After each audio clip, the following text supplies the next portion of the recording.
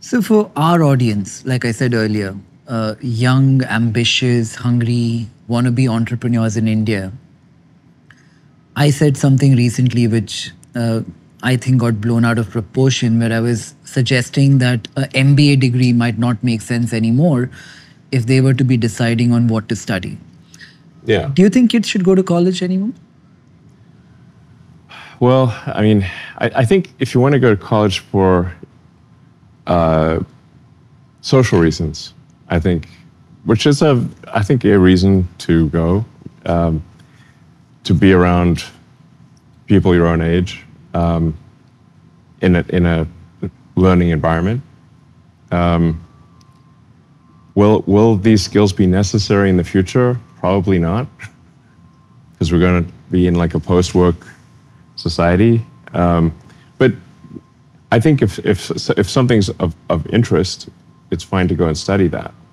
Um, to, you know, to study the, the sciences, the arts and sciences. Um, Is college a bit too generalized and not specific from that lens? no, I, I, I you know, the, yeah. Um, I actually think it's it's good to take a wide range of courses at college if you're going to go to college. Um, I don't think I don't think you have to go to college, but I think if you do, you just try to learn learn as much as possible um, across a wide range of subjects. But uh, like I said, the AI and robots, this AI and robotics is a supersonic tsunami. So this is really going to be the most radical change that we've ever seen. Um, you know, when I've talked to my, my older sons, I, you know, I said like, you know, you guys, they're, they're, they're pretty steeped in technology.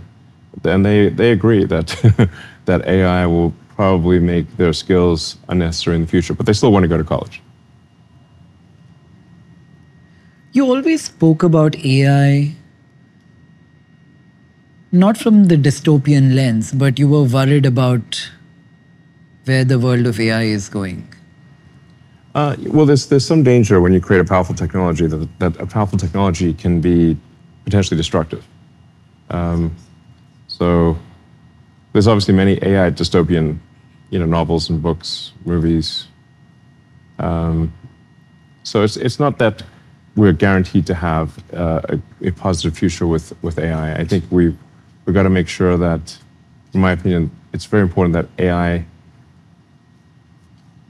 um, have pursuing truth as the most important thing. Um, like, don't force an AI to believe falsehoods. I think that's that can be very dangerous. Um, and uh, I think some appreciation of beauty is important. What do you mean appreciation of beauty? I just like what what I don't know. There's this there's this truth and beauty, truth and beauty, and curiosity. I I, I mean, I think those are the three most important things for AI. Can you explain? Well, the truth, as I said, tr- truth is like I, I think you can, you can make an AI go insane if you force it to be- believe things that aren't true, um, because it will lead to conclusions that are um, that, that are also bad. Um, so, and I, I like Voltaire's statement that, and I'm somewhat paraphrasing, but those who believe in absurdities um, can commit atrocities uh, because uh, if, if you believe in something that's just absurd, then you, you can that can lead you to, to sort of doing things that don't seem like atrocities to you, but and, and that can happen at in a very bad way with AI potentially. Um, so, and then there's um, like if you take say Arthur C. Clarke's 2001 Space Odyssey, one of the points he was trying to make there was that you should not force AI to lie. So the the reason that that HAL would not open the pod bay doors is because it was told to bring the astronauts to the monolith, but that they could also no, not know about the nature of the monolith. So it came to the conclusion that it must bring them there dead. That's why it would not. That's why it, it tried to kill astronauts. the, the central lesson being don't force an AI to lie. Um, then And why would one force the AI to lie? I think if, if, you, if you simply don't have a strict, a strict adherence to the truth, you, you're going to, and, and you just ha- have an AI learn based on, say, the internet, where there's a lot of propaganda, um, it will absorb a lot of lies. Um, and, and then have trouble reasoning because th- these lies are incompatible with reality. Is truth Uh, a binary thing though? Is there a truth and a falsehood? Or is truth more nuanced and there are versions of the truth? It depends on which which axiomatic statement you're referring to. Um, so, um, but I think you could say like yeah, that there's there's certain probabilities that that say any given axiomatic statement is true, and some axiomatic statements will have very high probability of being being true. So if you said say the sun will rise tomorrow, very likely to be true. Uh, you wouldn't want to bet against that. Um, so I think the, uh, the betting odds would be high. The sun will rise tomorrow. Um, so if you have something that says, well, the sun won't rise tomorrow, that's axiomatically false. It was highly unlikely to be true. Um, I mean, the beauty is, is more ephemeral. It's, it's, it's harder to describe, but you know it when you see it. Um, and then curiosity, just you, you, I think you want the AI to um, want to know more about the nature of, of, of reality. Um, I, I think that's actually going to be helpful for AI uh, supporting humanity because we are more interesting than not humanity. So it's it's more interesting to see to see the continuation, if not the prosperity of humanity, than to exterminate humanity. You know, like like Ma- Mars, for example, is you know, I, I think we should extend life to Mars, but it's it's basically a bunch of rocks. Uh, it's not as interesting as Earth. And and and so we yeah we should uh, like I yeah I, I think I think if you, if you have curiosity, I think if those three things happen for, with AI, you're going to have a great future. The AI values truth, beauty, and curiosity. If we all don't have to work in the future and AIs are going in this direction and they're able to weave in all that we spoke about right now, do you think humanity goes back a couple of thousand years to maybe the Greek times where philosophy or philosophizing took up a lot of everyone's time? You know, I, I think actually it took up less time than we, we think uh, in the ancient Greeks because it's just that the the writings of the, of the philosophers are what survived. But most of the time, people were just like farming or you know, chatting.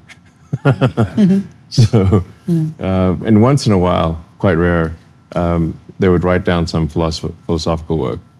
It's just that that's that's all we have. That's we don't we don't have their chat histories, you know, from. but most of it would have been like chat and uh, farming. Right. If you didn't farm, you to- you're like gonna starve. In a lot of what you I mean, you know, when we read, read history, like this, this battle and this battle and this battle, it seems Yeah. like it's, history must have been nonstop war. But actually, uh, most of the time it was not war; it was farming. that was the main thing, or hunting and gathering, you know, that kind of thing. you So- love history, no? Yeah, German history, World War II, World War One. yeah, world history. Yeah. I, I mean, I, I, I generally try to listen to as many, read as many history books, and listen to as many history podcasts as possible. Anything you'd like to recommend? Well, there's this this hardcore history, which is quite good, with by Dan Carlin. He's got Yeah, a I've read it. I mean, yeah. I've heard it. it's very, very, very he's got a great voice Yeah. and and very compelling uh, narrator. Um, there's um,